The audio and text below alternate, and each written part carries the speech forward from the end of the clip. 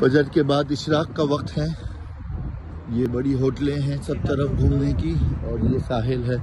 बहुत ही खूबसूरत। कोई भी बंदा भी नहीं है। और अभी हम साहिल पे जाएँगे।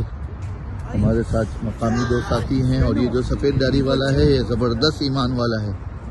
बीस साल पहले मुसलमान हुआ है और इसके साथ सखावत भाई हमारे साथ सियालकोट के हैं और यहाँ पच्चीस साल से मुकीम हैं। मैं और इम्तियाज़ साहब फजर के बाद साहिल की तरफ़ आए हैं शराक से पहले। बहुत ही खूबसूरत मंज़र है, माशाल्लाह, और ये कैसीनो है, जहाँ जुआ होता है।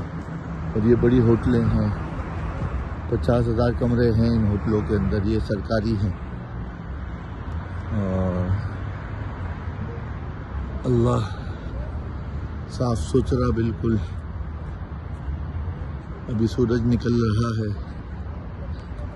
अल्लाह का शुक्र है, अल्हम्दुलिल्लाह। कम अज़ कम पाँव तो गीला करके आ जाए। बहुत बड़ा साहिल है। गर्मियों में यहाँ पाँव रखने की जगह नहीं होती। और अभी होटलें भी बंद हैं, सन्नाटा है। क्लोज है सब चीज़।